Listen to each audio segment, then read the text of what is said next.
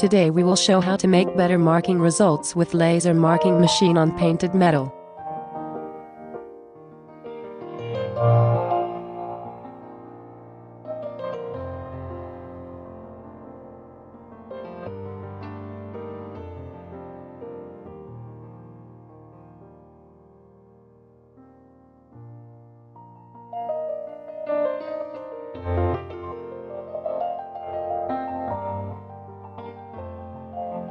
First, we make a copy of the same content after we create a marking content.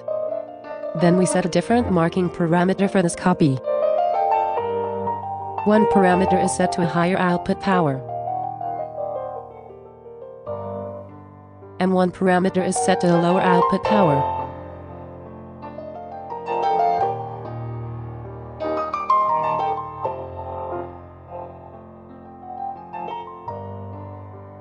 Finally, we put the two identical contents together and start marking.